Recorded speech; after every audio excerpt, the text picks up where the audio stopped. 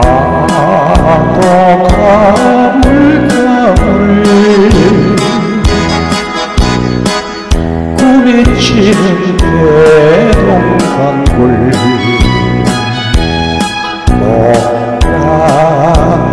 목란놈이 어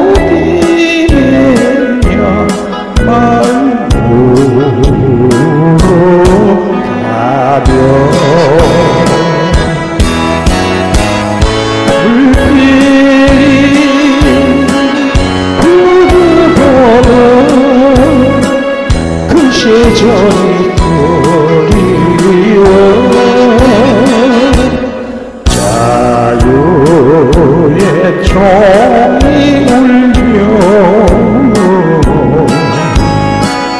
찾아다니고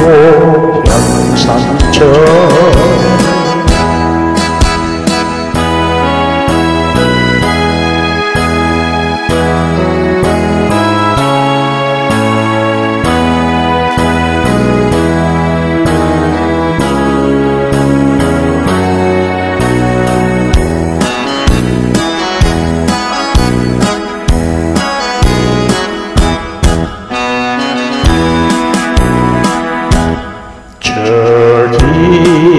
산봉우리에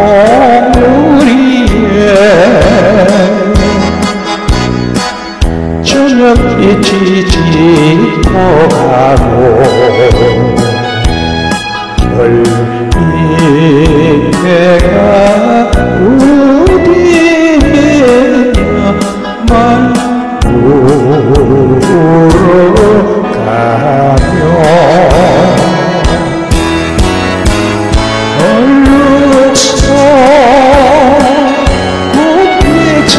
잡던